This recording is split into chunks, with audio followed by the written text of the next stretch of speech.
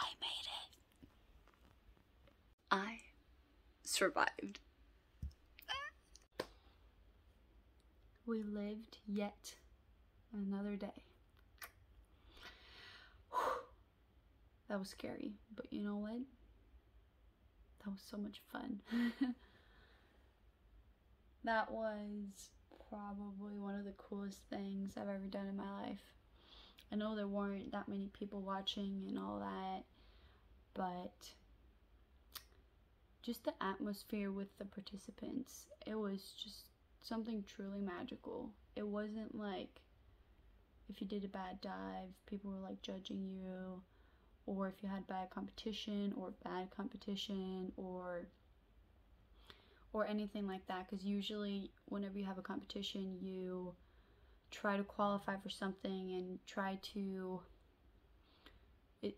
achieve something more or qualify or just personal best or whatever it might be um, but this competition you, you don't get you don't get further than this. This is like the end stop. This is where the train stops.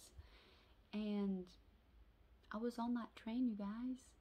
Um so even though i didn't obviously i didn't have the best competition of my life but i was still in the competition i mean i'm part of the 0.05 percentage of the world competing in the Olympics. Like, how freaking cool is that?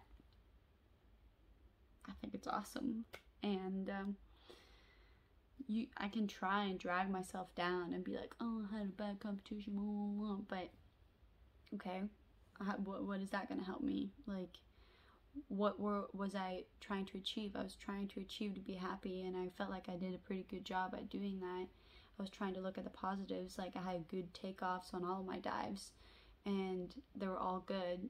It was the entries, and I've been telling you guys for so many days now that this stupid arm that's like really freaking bruised now because I've been tearing the tape off of me for three weeks straight now. Um,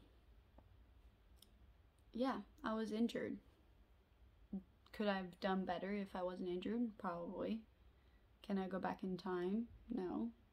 Did I do everything I could? Yeah. So I'm ecstatic. Like, I'm super happy.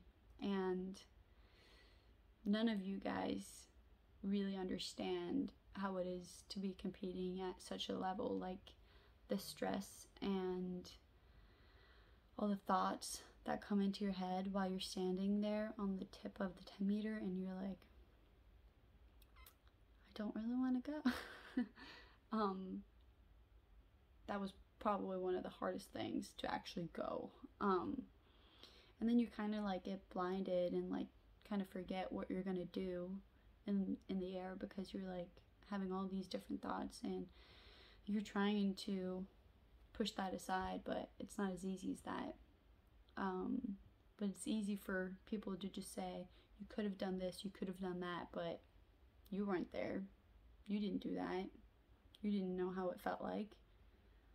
So at the moment, I did the best I could and I'm super happy. So there's no point in saying to me, uh, I know you wanted to do better or hope to do better or anything like that. Like, I didn't hope for anything.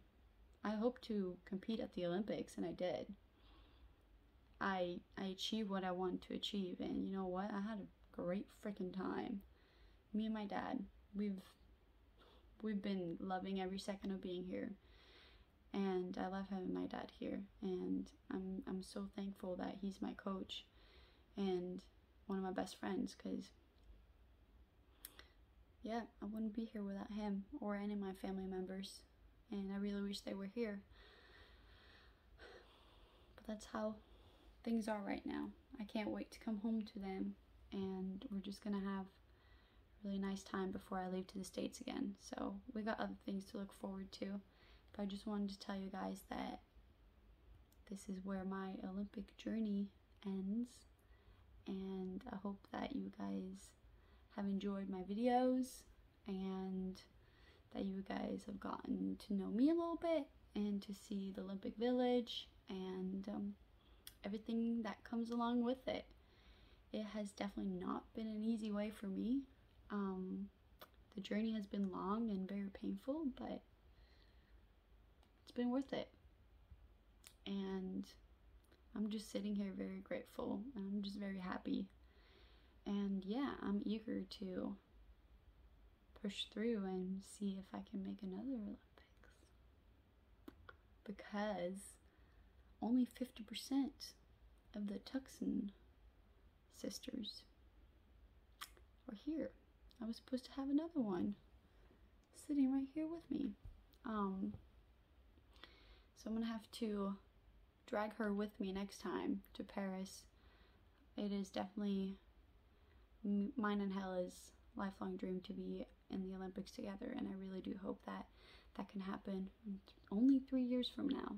So we'll see if that happens, and hopefully then maybe I'm uh, I'm uh, I'm all healed and I don't have any injuries because yeah, every everything can happen, and I'm excited for the future, and I hope that you guys will keep following me along my uh, my journey.